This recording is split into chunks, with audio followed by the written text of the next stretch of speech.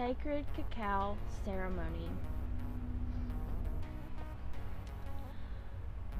The cacao ceremony is a powerful shamanic ritual that opens your heart, gives you space to express your truth, and creates a loving connection between participants.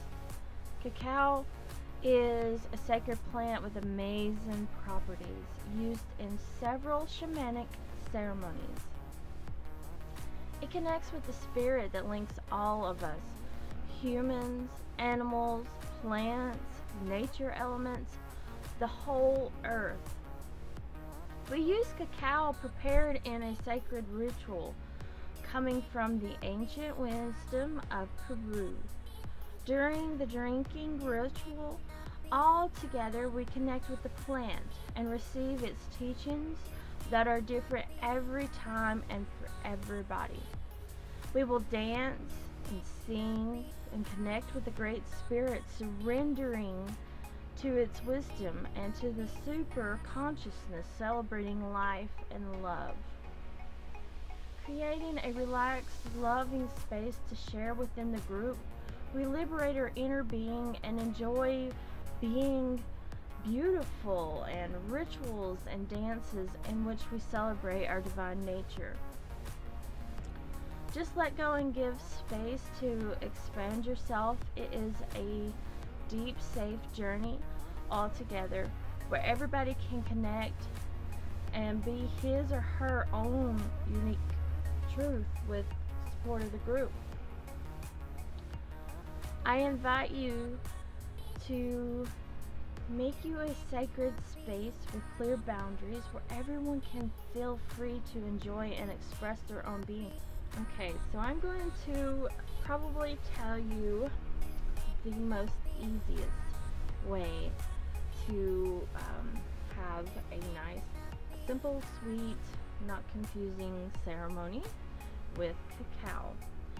Now, you make your cacao, make sure you take the time to smell the cacao, kind of like the tea ceremony that I uh, have another video about.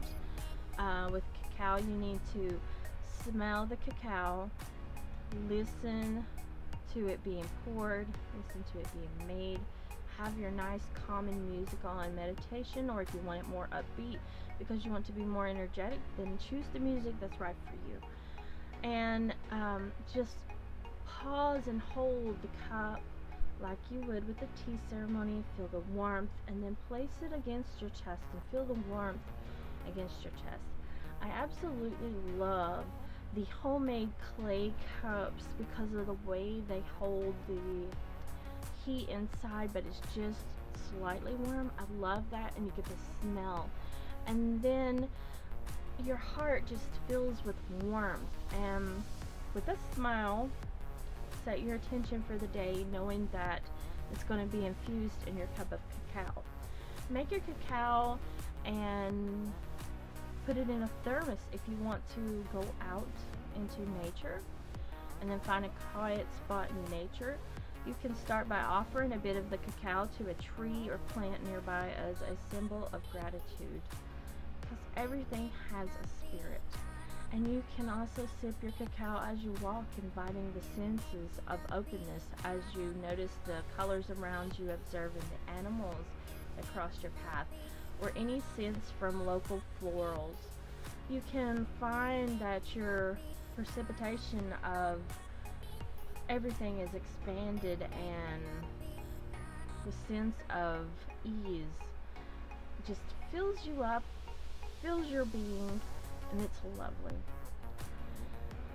Another good thing about a cacao ceremony is you can really connect with either your friends or your family if you're struggling or you're having a hard time with your friendship or your relationship or anything of the sort.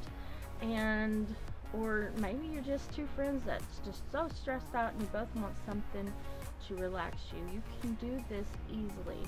You utilize the same process for the morning cacao ritual that I just told you once it is prepared sit outside and face each other um, sit on the ground with your legs crossed and give thanks make sure also um, around you.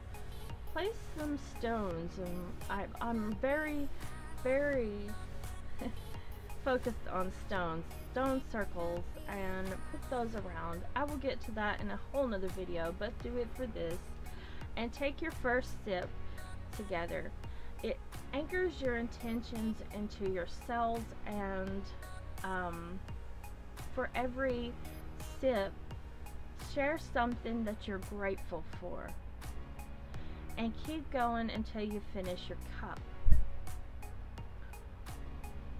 And um, once you're done with uh, all of this, make sure that you have a nice little journal at your side. And once you're finished, just jot down what all your thoughts are, um, your connections, and your personal journey, and what you thought about it. Make that connection with yourself, write it down, and that way that you have um, a little bit more of observation of what happened and what your gratitude is for the cacao. And it can help you also close the ritual by doing this by ending with your journal and do it for about five minutes about your experience. And that's the end of a cacao ceremony. Um I mentioned I will just I'm going to shortly mention here the circles. Um, many cacao ceremonies will involve a group of people, so sitting in a sacred circle or surrounding yourself in a circle on the outside if there's only you or only two people, it's a great way to um, take prayer and setting intentions to be received. Each person in the big circle will let go of what they are calling in their hearts. And um, this big circle is a great way to complete it and creates a safe, intimate space where everyone's fears, hopes, sufferings, and dreams can be shared. Um, circle also protects you from negativity outside of it. Um, people in the circle act as a mirror of each other, you know. And um, we often find that most of us humans have very similar problems and fears and hopes for our lives.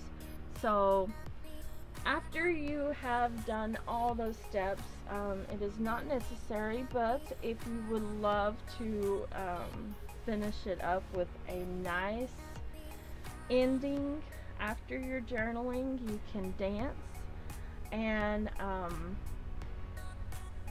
just enjoy yourself. Um, enjoy the cacao, help activate it within your heart and your body, flowing the energies and transforming.